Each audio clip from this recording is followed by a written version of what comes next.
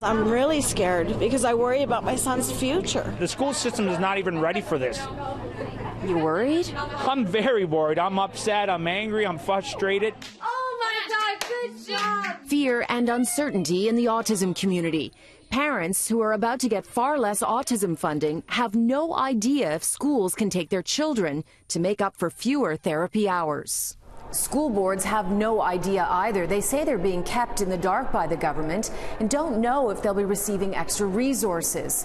Sources from the Peel Board tell me they expect they'll have to provide further accommodation to about 300 students with autism. As one source said, it's a mess. Can you see the lines? It's in boxes. The Halton Board wrote this letter to the Education Minister this week, warning safety is at stake, saying in part, We fear that the short notice of program change, coupled with the lack of an implementation plan from the ministry, will not allow for the safe and supportive classroom. The resulting changes of the new Ontario Autism Program will make this situation absolutely untenable.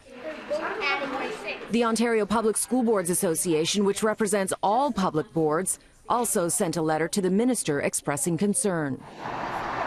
Under the law, boards must accommodate special needs students. But if there are no extra resources for a sudden surge, the fear is the added children who need help coping could have an impact on other children in the classrooms he can act out in aggression, you know, out of frustration of not being able to uh, communicate. We've got uh, about a month to go uh, before the end of this fiscal, and, and for the school boards not to have any idea uh, what's going to be coming in April is absolutely irresponsible. It's irresponsible for the, uh, you know, for the um, the fact that you know school boards need to make their plans. Forward with key recommendations. It's tough to get concrete answers from the education minister, who kept referring to an unfinished pilot project project created by the Liberals.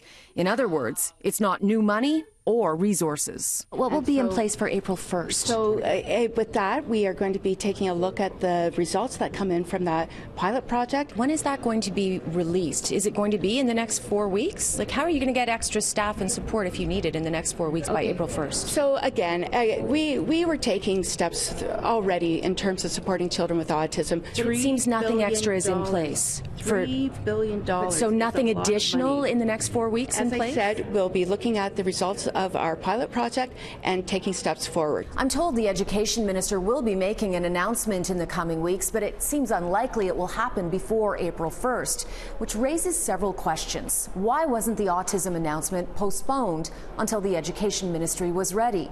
Are extra resources coming? If not, how does the education minister expect a stretched system to cope?